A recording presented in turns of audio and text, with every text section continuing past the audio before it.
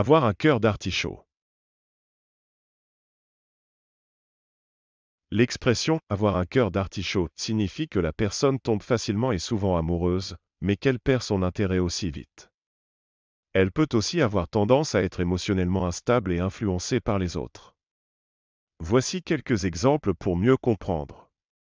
Julie est connue pour avoir un cœur d'artichaut. Elle tombe amoureuse dès qu'elle rencontre quelqu'un qui lui plaît, mais quelques semaines plus tard, elle se désintéresse complètement et passe à autre chose. Mon frère a un cœur d'artichaut. Il va facilement devenir obsédé par une fille, mais si elle ne montre pas d'intérêt en retour, il passera rapidement à une autre personne. Je pense que Pierre a un cœur d'artichaut. Il est souvent déprimé, et je suis sûr que c'est parce qu'il tombe amoureux facilement et que les choses se passent rarement comme il le souhaite. En résumé, avoir un cœur d'artichaut est une expression qui décrit un comportement amoureux impulsif et volatile.